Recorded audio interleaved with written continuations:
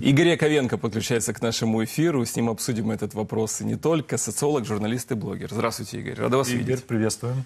Здравствуйте. Слушайте, Спасибо, добрый день. Рад вас видеть. Спасибо, что соглашаетесь участвовать в наших эфирах. Игорь, а скажите, в, в России вообще не будут проводить выборы? Э, получается, после того, что сказал Песков? Или это была импровизация от э, главного, э, ну, назовем так, друга Путина в публичном пространстве? Вы знаете, в России вообще еще никогда в истории, в истории этой страны, начиная с Московского царства, никогда не было выборов. Вообще никогда, ни разу. То есть выборы – это такое мероприятие, когда вот была а, одна власть, потом проходит какое-то голосование, там какое-то мероприятие проходит, и власть меняется. Ну вот о, о том, как, что такое выборы, хорошо знают украинцы, например. Вот в Украине а, на выборах власть меняется. Хорошо знают американцы. На выборах там власть меняется. В России такого не было никогда за много веков, за несколько веков существования этой страны. Такого не было в Московском царстве, такого не было в э, императорской России, в Романовской России. 300 лет э, династии Романовых. Никогда не было такого. В Советском Союзе. Там тоже были какие-то электоральные мероприятия, и в постсоветской России тоже что-то похожее на, тоже там куда-то что-то, какие-то бюллетени совали в какие-то щелочки, но власть в результате не менялась. А, поэтому вот выборов не было никогда, именно как инструмента народоизъявления, на, на волеизъявления народа, а, в ходе которого а, народ действительно по своей воле, по своим народ, который исторический субъект – вот такого не было никогда. Но и в этот раз тоже будет некоторое электоральное мероприятие, обязательно оно будет. Э, ну, это, вернее так, я немножко оговорился. Ну, не обязательно будет, оно будет в том случае, если Россия доживет до этого, потому что это тоже не факт. Но если доживет, то обязательно будет в 2024 году будет э, что-то названо президентскими выборами. Народ будет, э, так сказать, там, приходить, э, добровольно или не очень, приходить на избирательные участки, совать какие-то бумажки в щелочки. И значит, в результате будет объявлено, что Путин победил. Ну, сколько там Песков сказал? Более 90%. Да не вопрос. Какая разница? 100%, 140%, 1000%. Сколько Панфилова нарисует, столько и будет. Вот и все. Так что здесь, а, что касается оговорки Пескова, ну, ну сказал правду случайный человек. Ну, что пристали? Ну, не, не все же врать.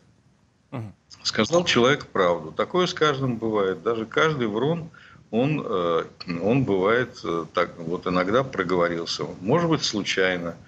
Вот. Может быть, там э, как-то отвлекся на минуточку. Ну, сказал человек правду. Выборы в России действительно это не демократия, это дорогая бюрократия. Игорь, а вот интересно все-таки понять, э, несмотря на то, что Песков стал э, оправдываться, а, все же понимают, что так и есть, но давайте расшифруем. Что значит дорогостоящая бюрократия? Он что имел в виду? Что а, на поддержание видимости какой-то свободы приходится тратить много денег, ну хотя уже и видимости нету никакой. Или он имел в виду, что слишком много воруют чиновники в режиме Путина? А что значит дорогостоящая бюрократия? Знаете, вот, э, вот в этом плане э, понять, что, что имел в виду Песков, довольно сложно, потому что выборы сейчас не очень дорогая история. То есть э, прошли времена, когда выборы это был, был момент, так сказать, момент счастья для политтехнологов, потому что действительно огромные деньги зарабатывались на выборах. Вот. Сейчас этого нет. Сейчас какие деньги? Я, я думаю, что для политтехнологов это будет э, такая минута уныния. Э, ну, что-то они заработают, там, я не знаю, кто будет э, в качестве альтернативы, там, Ксения Анатольевна Собчак наверняка выдвинет свою кандидатуру и потратит какое-то количество миллионов долларов на то, чтобы получить свои там 0,5%. Вот. Но, но в целом я думаю, что сейчас выборы это не очень дорогая история. Поэтому что имел в виду э, в целом бюрократия, да, она дорогая, потому что на чиновников, на чиновничий аппарат тратятся большие деньги. Плюс еще они воруют э, как не в себя. Так что в этом смысле э, дорогая бюрократия. Но к выборам это не имеет никакого отношения. Поэтому фраза не только Э, непривычно искренне для э, Пескова, но она еще и плохо сколочена, эта фраза, плохо сконструирована, потому что к выборам это не имеет никакого отношения. Ну, Выборы стали дешевыми в России. Ну да, но стоит отметить, что Песков после этого попытался опровергнуть свои слова, хотя, честно говоря, из его опровержения ничего не стало яснее. Он сказал, что он, он имел в виду, что якобы консолидация народа вокруг Путина такая – что 90% за него проголосуют в случае выборов. Ну, в общем, да, с чего он это решил, ему только известно. Но в этом же интервью «Нью-Йорк Таймс» э, Песков заявил, что Россия не собирается эм, захватывать новые территории Украины. И после этого сам себе спротиворечил, сказав, что мы хотим только те территории контролировать, которые ныне записаны в Конституции. Напомню нашей аудитории, что в Конституции Российской Федерации закреплена Донецкая, Луганская, Херсонская, Запорожская область. Ни Херсон, ни город Запорожье, ни уж тем более э, даже большую часть территории этих областей Россия не контролирует, точно так же, как и Донецкую и Луганскую. Далеко не, не до конца. И в, вообще сейчас под Бахмутом все, мягко говоря, неоднозначно. А, скажите, э, означает ли это, что Песков ну, да, высказывает мысли Путина о том, что война будет еще идти долго, и, в принципе, никакого компромисса даже теоретического Кремль не видит. Ну, э, насколько Песков высказывает мысли Путина, я не знаю, потому что, в общем-то, э, тут важнее другое. То, ну, то, что Песков говорит, это, в общем, вряд ли за этим можно угадывать какой-то э, большой глубокий смысл. Ну, а то, что война будет идти столько, сколько Путин будет в Кремле, это совершенно очевидно. Э, то есть э, на сегодняшний момент ясно, что Путин войну не прекратит. То есть, ну, по крайней мере, до тех пор, пока российская армия не будет разгромлена, и результатом вот этого разгрома не станет обрушение путинского режима. Потому что Путин войну не прекратит даже в том случае, если российская армия будет отброшена за границы Украины 91 года. Поэтому тут э, версии, что Путин прекратит войну, просто не, такой опции не существует. В этой войне, судя по всему, уже не будут участвовать наемники ЧВК «Вагнер». Появляется информация о том, что в России семьям погибших боевиков Вагнера перестают э, выдавать справки о том, что они участвовали в войне. А само по себе унизительно, но главное, что родственники из этого не могут получать льготы, выплаты, и их это больше всего тревожит. А можете объяснить, почему? Почему вдруг э, боевики Вагнера, которые ранее были героями, теперь вот даже справки им не выдают? Ну, э, здесь же есть официальная позиция Пригожина. Пригожин сказал, что все, мы в этой войне больше не участвуем. Э, ну и, в общем, это понятно. Пригожин же, это же не про какие-то там ценности, не про какие-то идеи имперские, любые другие. Он про деньги. И Пригожин прекрасно понимает, что никаких денег э, в этой войне в Украине он не заработает. В Украине они могут заработать только вот эти черные пакеты, в которых их отправляют э, домой. Э, поэтому все, Вагнер в этой войне, Вагнер из этой войны вышел. Дальше он будет воевать где-то в другом месте, там в Африке, возможно, э, будет воевать, так сказать, в той же самой России, то есть это как пойдет. Но там, где есть деньги. Украине для э, ЧВК «Вагнер» деньги, денег больше нет. Поэтому они не участвуют в войне. Поэтому и э, на самом деле вот, это вот, вот этот конфликт между двумя э, мафиозными кланами, э, один из которых называется ЧВК «Вагнер», а другой называется Российская Федерация, это именно два мафиозных клана, которые сейчас находятся в конфликте. И этот конфликт продолжается. И естественная реакция одного мафиозного клана под названием Российская Федерация, что он не поддерживает больше, э, так сказать, участников второго мафиозного клана под названием ЧВК «Вагнер». А там дело в том, что э, значительная часть, мы не знаем на сегодняшний момент, какая часть, ну я, по крайней мере, не знаю, может быть, кто-то знает наверняка, но я не знаю, какая часть бойцов ЧВК «Вагнер» заключила контракт с Министерством обороны. Вот их, этих людей, будут, а, но они уже не называются ЧВК «Вагнер», они будут а, получать все льготы и, так сказать, они продолжают участвовать в войне но, э, против Украины. Но они э, не как ЧВК «Вагнер», а просто как как обычные контрактники. А та часть, которая пошла за Пригожиным, да, она, в общем, уже не воспринимается как партнер вот той части мафиозной структуры, которая возглавляется Путиным. То есть, еще раз, это не, не, все не внутри государства, которого в России нет. Две, две мафиозные структуры, которые между собой, в общем-то, делят сферы влияния. Игорь, а, хочу вам поставить еще один вопрос. 28 июля Совет Федерации а, принял поправки в законопроект, а, исходя из которого сотрудники региональных военных компаний, э, которые фактически могут создавать губернаторы на местах, э, смогут получать огнестрельное оружие на как бы легальных правах. Путин этот закон не подписал э, до сих пор, поэтому он в силу не вступил, хотя его не раз обсуждали в эфирах. И Андрей Картополов, это глава Комитета Госдумы по обороне, э, сказал, что вот еще не определено, э, сам не определился сам механизм передачи этого огнестрельного оружия, и как бы не все в этом законопроекте однозначно, нужно еще его дорассматривать. Объясните, пожалуйста, с чем это связано, почему вот такая инициатива была, с какой-то проблемой столкнулась российская военная машина, или, может, увидели какие-то неправильные прецеденты на местах, почему до сих пор Путин не подписал? Ведь мы знаем, что это все обычно происходит прямо на следующий день, если надо.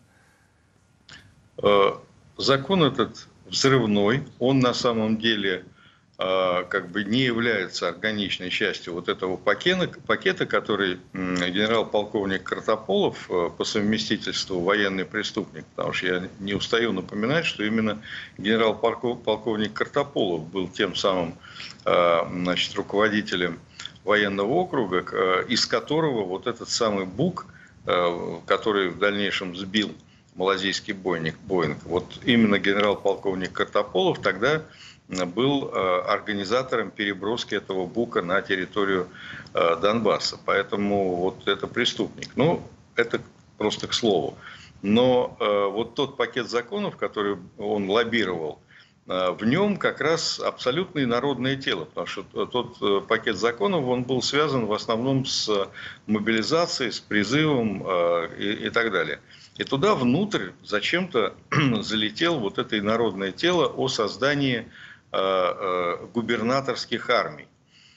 И этот закон взрывной, потому что, по сути дела, ну, любому нормальному человеку ясно, что создание губернаторских армий – это очень широкий шаг в сторону э, распада России. Потому что центро, центробежные тенденции, которые всегда существовали в России, они в значительной степени блокировались тем, что у губернаторов нет Э, ресурсов для того, чтобы э, в случае чего подкрепить эти э, стремления к своему суверенитету вплоть до выхода из состава России. А такой тенденции, такие тенденции были всегда. Так вот, идея создания губернаторских армий, фактически, она подкладывает под, этими, под эти стремления, так сказать, центробежные тенденции российских регионов, она подкладывает под это военную силу. И, в общем-то, получив э, губернаторские армии, у э, местных региональных начальников уже не останется тормозов для того, чтобы, в общем-то, в случае как бы ослабления федеральной власти попробовать э, испытать судьбу, превратившись в глав суверенных самостоятельных государств, что было и в Советском Союзе, и, в общем-то, стремление к суверенитету вплоть до выхода из состава России было в 90-е годы. Мы видели, как это происходило. Поэтому, э, и, в общем-то, наверное, все-таки в администрации президента путинской э, не все идиоты сидят и почувствовали эту угрозу.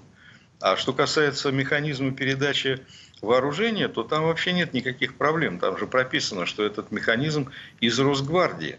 А в Росгвардии оружие сейчас такое количество. То есть только что же э, прошел другой законопроект, когда Росгвардия получает уже и бронетехнику, и вертолеты, и вообще, так сказать, ну, все стреляющее, сжигающее и убивающее, что существует на территории Российской Федерации, все это передается в Росгвардию.